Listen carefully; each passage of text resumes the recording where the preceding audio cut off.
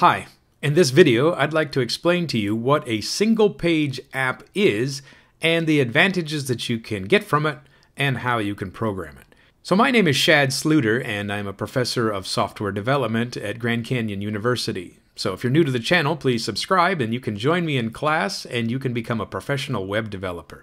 So what I'm interested in is looking at the top layer of an n-layer design. So if you're working with a full stack application, you've got a lot of things to think about.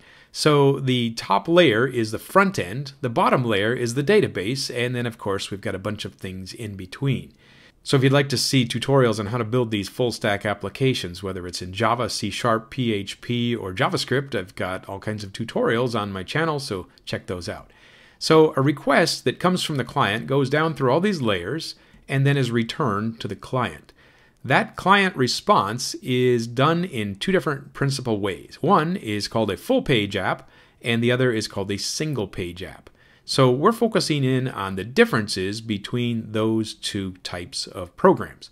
So the controller that runs this has to respond differently, and the client that runs it has to be built differently if they are both programmed correctly. So let's talk about what a single page app looks like it looks to the user pretty much like a standard app, so you don't really notice that there's a style difference. However, what you do notice is a performance difference. Let's talk about the two different contrasts. So here is the cycle of a traditional web app. So first of all, the client is going to ask for some data.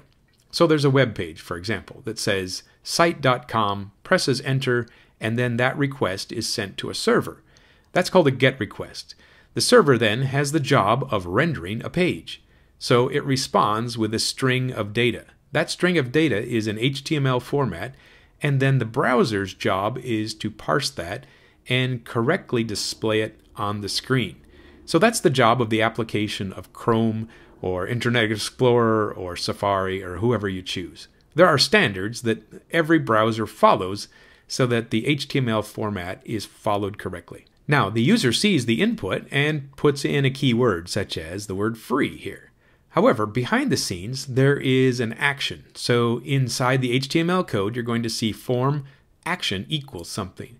In this case, the action is search, and the type of action is a post request. So when you click that submit button, the browser then sends more data back to the server. So another request. That request then generates some more action, it goes to the database, finds everything that belongs to that search term, such as free, and generates another page. So more HTML code is sent back to the browser. Now, when that browser gets that request, it pretty much restarts. It blanks out the page and then displays the new data. So the search results show up in a list, for example. That is what a traditional web app is. So in this case, you can see that there are two blue arrows pointing to the client. That means that there are two full page refreshes. Not bad, but we could do better. And that's why we came up with this idea of a single page app, or an SPA. So it's a little bit different, but not a whole lot. So it starts off the same, where we have a browser, and the browser says, Get me a page. So a GET request. The server then generates that page, and the same form is displayed. However, there is a difference. Notice the form action is now going to have no action associated with it. So when the person types in free as their keyword search, instead of the form submit button doing any work, we add some JavaScript code. So somewhere on the page, there's going to be a script area.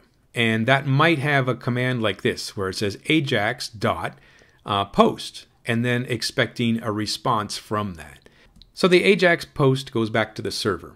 Same kind of idea, where we send it some data that says, I would like to search for things that are free.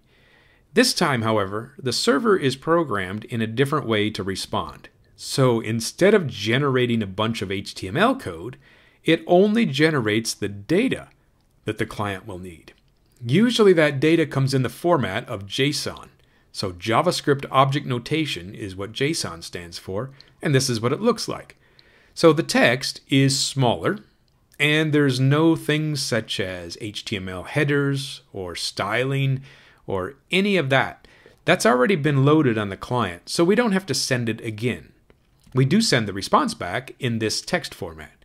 Now, the server has done his job. He doesn't have to generate nearly as much code, but the client has a lot more to do. So that same script that was sending the request now has to come into action again. It's expecting a response, and when it gets the response, then it has to essentially go through, such as a big for loop, and respond by parsing the text. And it might generate its own HTML and insert it into certain parts of the page, or it might notice that certain things have disappeared and they can just be disappeared from the page, deleted. But the page does not do an entire refresh. The results are a partial page update, and that's why a single page application is desirable. Because if you do like small edits to a page, you just want that one piece to change and not have an entire browser restart. So clients have a lot to work on now when you have a single page application. They do a lot more work. So the JSON text comes from the server like this, but then the code that you're going to have to write on the client looks more like this purple box you can see that this uh, command here is Ajax. This is written in jQuery, which is kind of an old-fashioned way of doing JavaScript, but it's pretty clear to understand. You can see that there's a put request going on here, and then there is a success item here. So success is a function that says expect data to come back from the server and then process it here. So what can you write as a JavaScript client? So jQuery is kind of the grandfather of the group, it was the original way sometime back in the mid 2010s or so when people started doing this kind of thing. But the other choices you see on the screen here, well, they're more modern, they're certainly more complex to learn, and they are more capable. So React is probably the leader right now as far as the popularity goes. Vue and Angular are good choices as well. So any one of these will accomplish your goal. It's just a matter of which one your company works for or works with, and which one you're most comfortable with. So these are not your only options. You can program the same result using things like uh, Blazor and C Sharp, which is more of a WebAssembly idea. But we're thinking about single page applications in JavaScript right now, and these are your main choices for what you should study and what you should learn. And obviously, if you want to find out more about how to do these things, check out the links below here in the video and I'll show you some of the other tutorials that will do exactly that. So if you'd like to see an entire uh, full stack application, you can learn, for example, how to run Spring Boot with Java and create uh, not only the back end, but also the front end. So check out the links below, and I'll look forward to seeing you soon.